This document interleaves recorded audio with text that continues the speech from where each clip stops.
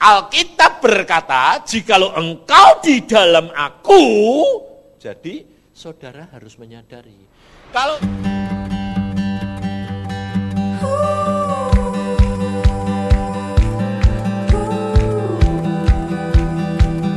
Kalau Tuhan Roh Kudus diutus untuk saudara dan saya tinggal di dalam diri saudara, saudara harus tahu.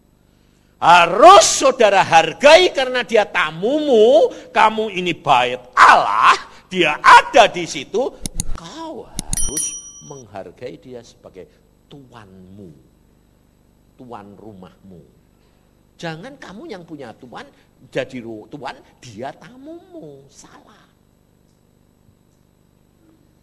Makanya ada seorang hamba Tuhan, dia mengatakan, Tuhan, engkau sudah berkati aku, sekarang aku beli rumah dua tingkat yang bagus.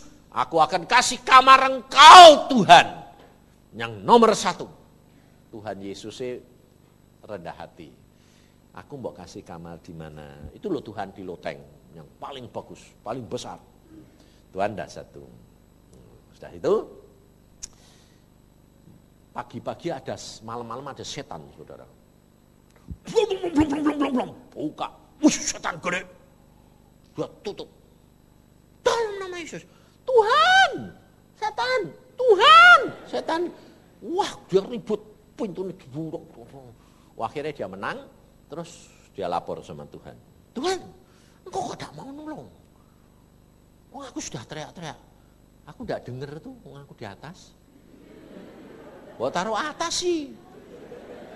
Oh, rumahmu sana lah, oh, lotengnya dah sana, udah denger aku. Oh ya, kalau gitu lain kali di sini aja lah Tuhan, di bawah pindah deh. Tuhannya dipindah di pinggir di kamar balap bawah.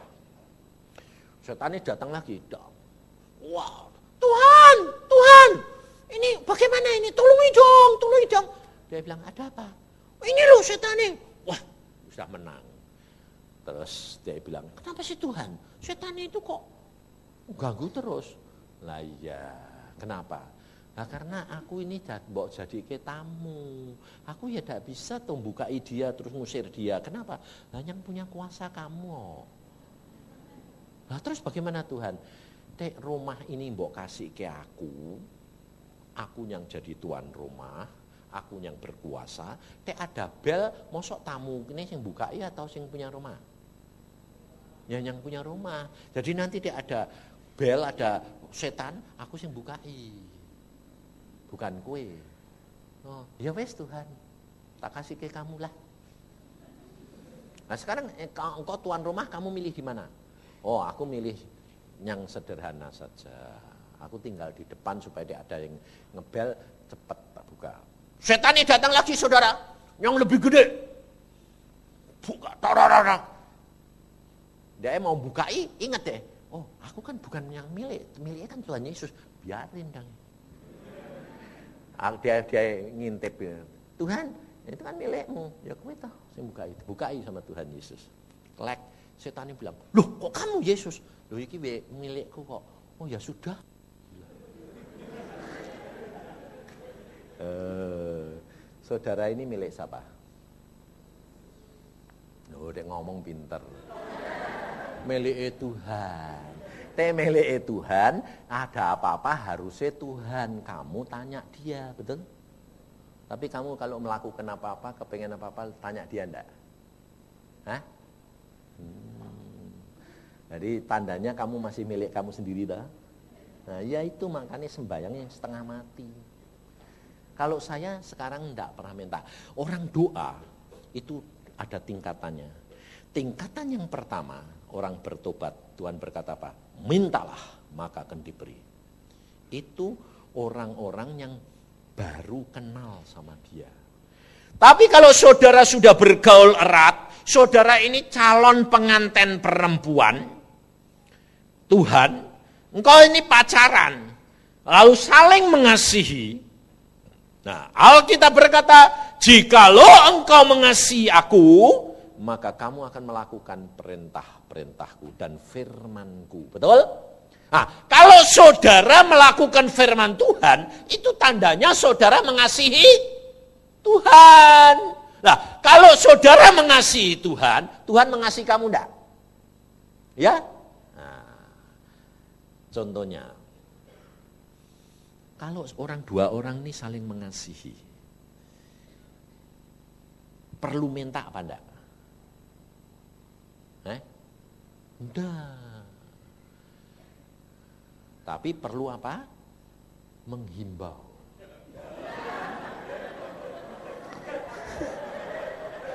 Loh, contohnya gini. Saya jalan-jalan sama kekasih saya, calon istri saya. Ya lah. Saya ngasih dia, dia ngasih saya, betul? Terus dia lihat-lihat. Lihat barang, dia bilang gini, bagus ya yang ya. Saya ngerti enggak kalau dia kepingin? Eh?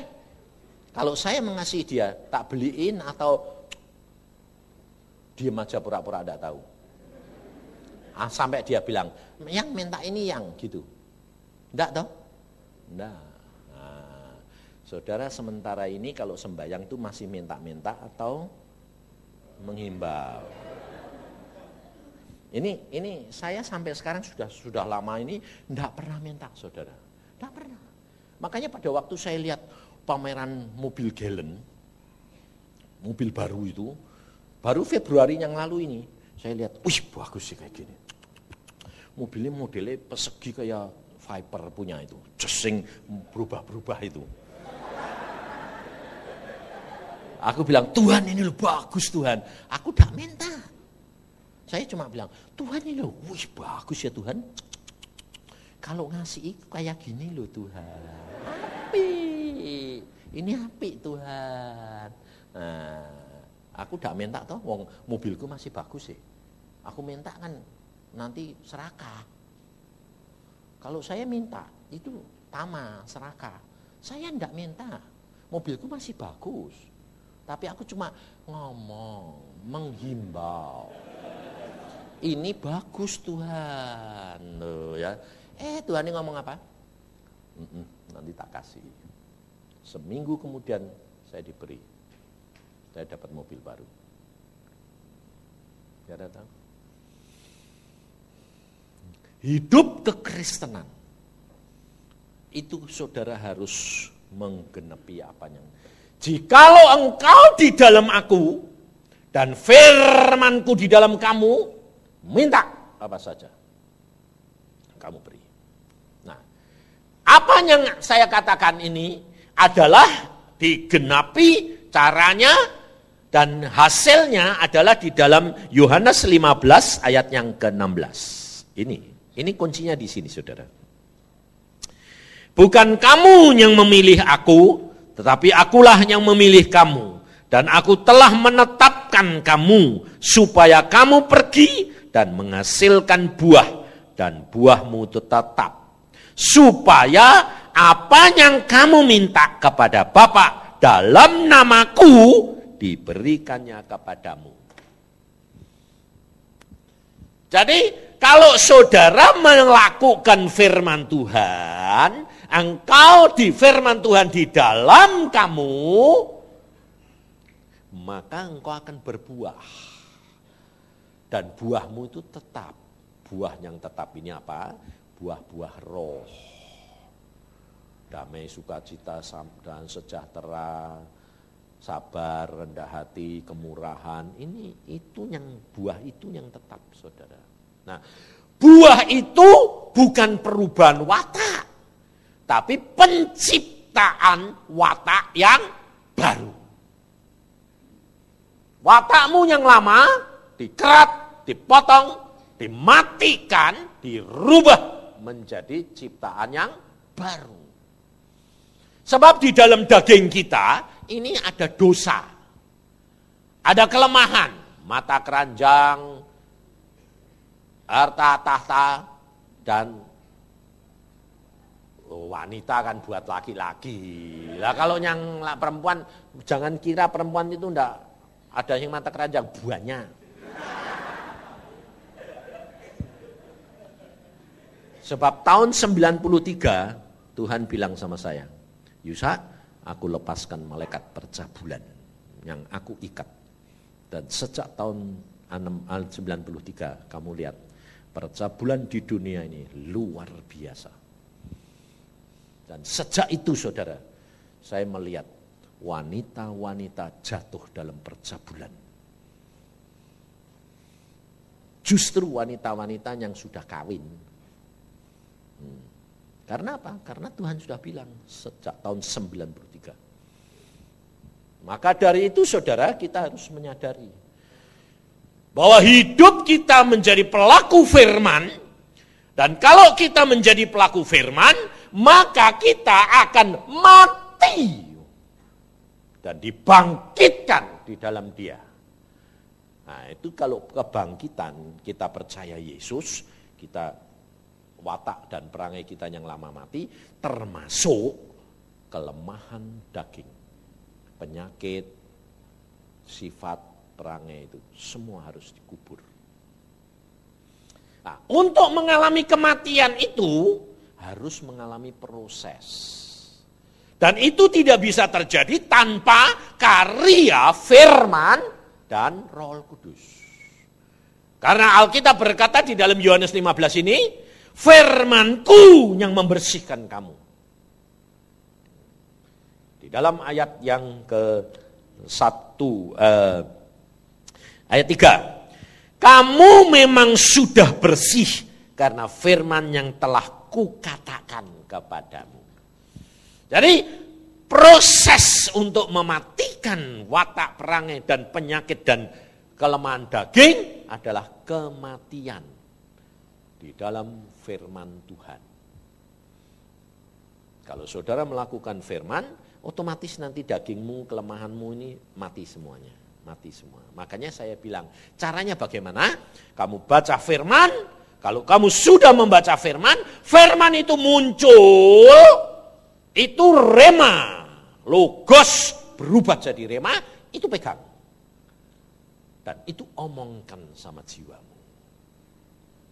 Jadi jangan firman dibuat orang lain. Ada gampang untuk ngomong ngasih nasihat orang lain itu gampang. Tapi untuk dirimu sendiri itu susah. Makanya saya bilang, kalau kamu baca firman lalu salah satu firman itu muncul, itu rema. Itu kamu harus ucapkan dan omongkan kepada jiwamu. Caranya lebih gampang zaman sekarang, tidak seperti Daud, cuma dulu, hai jiwaku. Daud ngomong gitu. Tapi kalau zaman sekarang saya ajari ngadep kaca. Ngadep kaca, kamu lihat dirimu dewek toh. Kamu nih, Yusa, firman Tuhan berkata ini, kamu masuk. Jiwamu omongin, saudara. Nah itu nanti yang membersihkan, mematikan watak perangainya. Kamu kok iri hati, buat apa? Untungmu apa? Ngomong, cak bantah-bantahan dewek. Uh, makanya dianggap orang edan. Tapi itu yang menyembuhkan kamu, yang membereskan kamu. Ya toh? Sudah coba belum? Praktek. Itu luar biasa hasilnya. Saya ngalami semua. Nah, nah. orang yang kanker, orang yang yang mau mati ya itu si Aris itu coba bayangin. Umurnya 24 mau mati, insinyur lagi. Ususnya dipotong lagi berapa meter. Terus aku bilang, "Loh, kamu kok kurus kering kayak kong tuwek, gundul terus." Sebabnya di di bestral di apa-apa itu gundul Gundul, pelintis sampean. Sampai desa tumbuh. Loh kamu ini berapa tahun? Waduh om sudah dua tahun kayak gini terus. Rambut tidak tumbuh, kurus kering. Aku bilang, waduh kamu ini bagaimana sih? Terus saya bilang, Tuhan kasihan dong. Iya makanya itu ajari. Ajari apa Tuhan? Suruh ngomong. Praktek. Sini aku bilang, kamu masih muda, mau. Benar, benar. Udah, mulai hari ini tiap hari ngomong, masuk kamar kunci, cari kaca yang gede, terus telanjang. Matanya melotot deh. Hah, apa um? Telanjang. Lu ngapain um?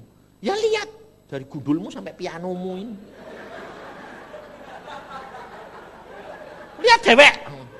Terus omongin. Lu omongnya apa om? Gudul, gudul, tumbuh rambut. gitu. Lu ngomongnya pelan-pelan om. Dak keras. tubuh, tubuh dapat. Dalam nama Yesus. Daging, daging, tubuh. Sempurna, sempurna. Jamaah, terus semua satu-satu, terus. Berapa menit sampai bar? Itu tiap hari lakukan. Mamai hari kedua mamai bingung, kaget. Riz, kamu ngapain? Ngomong sama siapa kamu? Ngomong sendiri mah. Wah, sedan. Enggak apa-apa kok mah, biarin lah. Dia pikir edian tenan bisa ini. Saudara kamu tahu, dalam waktu dua bulan, tiga bulan saya khotbah di tempat lain, saya tidak kenal dia. Ada di pojok ini anak muda bilang, aku bilang, Yesus itu luar biasa. Dia bilang, amin. Aku bilang kurang ajar. Siapa sih Muka merah, rambutnya padat. Selesai bilang, sini kamu. Kenapa sih kok kamu kok ribut kayak gitu? Amin. Luar biasa. Kamu tak pikir-pikir gendeng. Lah, dia bilang, om, om tidak kenal aku toh. Kamu siapa? Lah, aku ini Aris loh om. Engkong tuwek itu. Si gundul itu loh om. Loh rambutmu kayak gitu. Lah kan om sing nyuruh. Dua bulan om tiap hari, gundul-gundul, tumbuh om.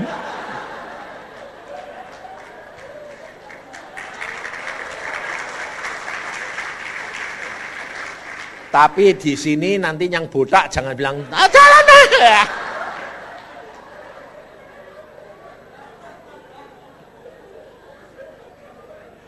Sebab itu rema, bukan bukan lalu kamu ikut-ikutan. Saudara, sempurna. Sampai sekarang kamu boleh ketemu sama dia di Bandung. Dia kawin, dia punya istri cantik, anaknya tiga, diberkati Tuhan. Nah, aku bilang, Riz bagaimana? Sempurna. Dokter meriksa dia bilang, ini si mujizat. Tidak mungkin, mungkin bagi Allah. Hmm, maka dari itu saudara, Bagaimana itu doa bisa berhasil? Kasihi Tuhan lebih dahulu. Bergaul erat. Firman Tuhan masukkan banyak-banyak. Dan kamu hidup dengan pimpinan roh Allah Kudus. Ini masa ini adalah zamannya roh Allah Kudus. Perjanjian lama itu Bapak. Perjanjian baru Yesus anak. Dan ini akhir zaman adalah bagian roh kudus. Kalau tiga Allah Bapa, Putra, dan roh kudus sudah menyelesaikan bagiannya, pasti dunia ini berakhir. Cara tahu? Ini cara kerjanya Bapak, Putra, dan Roh Kudus. Luar biasa caranya. Kalau Bapak punya kehendak, meskipun kamu penuh dengan dosa, dan keadilan Allah mau membunuh kamu, karena kamu dosa. Anak, firman yang akan menolong kamu. Roh Kudus yang akan menuntut kamu. Luar biasa. Hal ini kejadian pada waktu Musa diutus. Pada waktu Musa diutus oleh Allah dari Mesir, Bapak berkata, Musa pergi ke Mesir, balik, bebaskan bangsa Israel. Wah, bawa tongkatmu. Hmm. Bawa saudara. Apa terjadi? Alkitab berkata di tengah jalan Allah berikhtiar berusaha membunuh Musa. Disuruh sendiri di tengah jalan mau dibunuh sendiri. Nah, aku ya tanya lalu Tuhan kue kok lucu sih? Musa mbok panggil. Dia dari tengah jalan mbok bunuh. Tuhan bilang, aku kudus, aku adil. Aku lihat Musa berbuat dosa, aku harus bunuh dia. Lu nanti rencanamu kan tidak jadi, harus jadi. Adik Musa mau bunuh mati. Nah iya, mati. Tapi ada jalan keluar, karena Yesus itu jalan. Ada penolong, roh kudus. Cara kerjanya bagaimana? Nah, lalu pada waktu Allah datang mau membunuh Musa, dosa Musa apa? dia lalai melakukan firman Tuhan. Anaknya itu sudah gede, kok tidak disunat? Padahal dia mau dipakai Tuhan menjadi alatnya, harus menggenapkan firman. Jadi saudara perhatiin, kalau engkau dipanggil pelajari firman, lakukan dulu. Jangan cuma sebagai pemberita. Engkau harus bertanggung jawab. Makanya pendeta susah masuk surga itu kenapa? Karena begitu. Maka pada waktu Musa mau dibunuh, karena dia lalai menyunat anaknya. Saudara tahu, roh Al Kudus mengingatkan Sipura istri. Padahal istrinya itu bukan orang Israel, tidak tahu apa-apa. Yang tahu Musa kalau harus anaknya disunat. Peraturan, hukum Tuhan. Tetapi karena Allah yang mau, maka Sipura diberitahu. Sipura diberitahu oleh Roh Kudus, cepat ngambil pisau. Sipura kan tidak ngerti apa-apa, ya cuma melakukan ngambil pisau. Potong. Kemaluan anakmu, bayangin suruh nyunat. Anaknya Musa itu kawin umur 40. Lalu pada waktu diutus umurnya Musa 80, kawin sudah 40. Anaknya kira-kira umur piro? Paling enggak kan umur 20, betul? Telat-telat 20 tahun lah, umur 20 tahun. Coba, mamai umurnya sudah berapa? Anak laki dua, umurnya 20. Tidur tahu-tahu dipelorot ke diketok. Anak mamai udah ditendang. Loh, eh tendangan mencelat. Lah kok diem aja dipelorotke diketok ya diem aja. Loh itu di zaman sekarang ada di bio saudara. Itu dipotong kayak pisau. Seret. Terus potongannya dengan darah itu ditempel ke sama jari Musa. Karena darah Yesus mengucurkan darah penganten darah Musa selamat. Saya bilang, Tuhan kok aneh sih? Nah itu cara kerjaku begitu. Aku adil. Kalau kamu menghadap aku langsung, saya bunuh. Karena apa? Alkitab berkata tidak ada seorang pun yang dapat memandang Allah dan tetap hidup. Karena Allah maha kuasa. Tapi kenapa kamu hidup? Karena kamu Aku kalau lihat kamu, lihat Yesus. Kamu ada di dalam Yesus. Sehingga kalau aku lihat kamu mau marah kayak apa, aku lihat Yesus. Yesusnya yang mengcover kamu sehingga kamu itu selamat. Permintaanmu melalui Yesus. Jadi aku yang lihat Yesus. Nah, yang tahu hatiku siapa? Roh Kudus. Makanya dia berkata, jikalau engkau di dalam aku dan firmanku di dalam kamu, minta apa saja. Karena apa? Kamu tidak usah minta, kamu cukup menghimbau. Langsung dapat. Ngerti, ngerti, ngerti. Jadi saudara itu kalau mau berdoa sekarang, mau melakukan apa pun, saudara tanya roh kudus. Kalau nanti rema itu Roh Kudus sudah berbicara, firman ini, nah itu. Nah, hati-hati saudara, sebab setan itu jahat sekali. Suatu saat, saya itu waktu belum ganti jalan ini, saya punya Mazda, bagus. Saya ngomong gini, Tuhan, Tuhan, aku Mazda kok sudah bosen ya Tuhan. Boleh ganti enggak? Boleh. Ya toh? Jadi tidak minta. Boleh ganti enggak? Itu tidak minta toh. Menghimbau. Oh boleh, ya, ya. boleh Tuhan, boleh. Ya wis. Nah, ada persembahan saudara. Satu kali 50 juta. Saya bilang, waduh Tuhan, ini duit kok ada 50 juta buat apa Tuhan? Loh, meskipun saya kepingin, saya lupa saudara. Dan saya tidak bilang, waduh lumayan enggak. Tuhan ini ada duit 50 juta buat siapa? katanya mau beli mobil, mau tukar mobil. Oh ya terima kasih, kantongi, kasih perpuluhan. Terus ada persembahan lagi 30 juta. Loh Tuhan ini 30 juta. Katanya ganti mobil. Oh ya wes. 80 juta. Lalu saya jalan-jalan di ruangan tamu di tempat mobil Mazda itu. Tuhan, Tuhan, ini kalau ada orang yang ngasih 190 juta, aku beli Mercy Tuhan. Yang pada waktu itu harganya 300 juta. 300E harganya 300 juta, sedang turun-turunnya. Saudara tahu, saya cuma ngomong gitu, ngomong, enggak minta. Kalau ada. Loh ya toh, nah, itu menghibau lagi. Ya toh, kalau ada. Lah jadi tidak minta.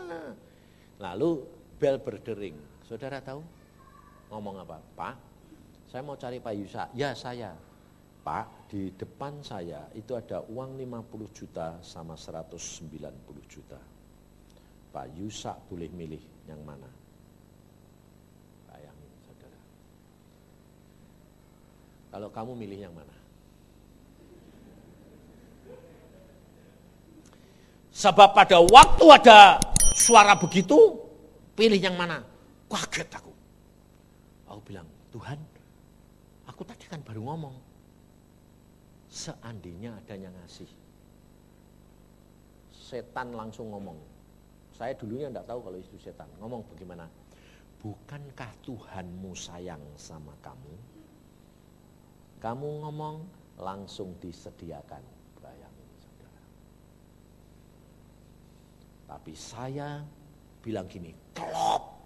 Pikiran saya loh, kelop. Tapi hati tidak berani. Saya berdoa, sebentar saya berdoa. Tuhan, Tuhan, secara akal, klop. Tapi aku hambamu, aku tidak berani. Menurut engkau bagaimana Tuhan Roh Kudus? Melintas di sini firman, hamba Tuhan cuma terima seper sepuluh. Langsung saya tanya, kok bisa 50 mbak 190 ini piye? Ini 20 persen pak, karena jumlahnya semua 240. Karena 20 persen ini 48 juta, saya tambahi 2 juta supaya bunder. Waduh saudara. Saya bilang, oh ya sudah saya tahu. Saya cuma terima 25 juta. Yang 25 juta saya harus salurkan hamba-hamba Tuhan, yang 190 kembali kepada kamu. Orang itu ketawa. Wah aku lulus ya Pak? Ya, kamu diuji lulus, ambil lagi uangmu yang 190. Tapi kenapa Pak? Kok kamu ngambil cuma 25? Karena Tuhan berkata, aku terima seper sepuluh.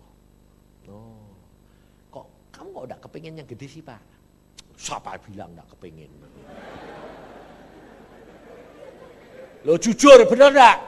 Kepengen sih kepengen, tapi ndak berani. Karena saya sadar siapa saya. Maka dari itu saudara perhatikan.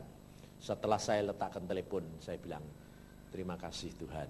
Berarti aku tidak boleh pakai Mercy, aku pakai apa? Pakai gallon. Ya sudah, saya beli gallon. Saudara tahu? Setelah itu saya bilang, terima kasih Tuhan, aku nurut kepadamu.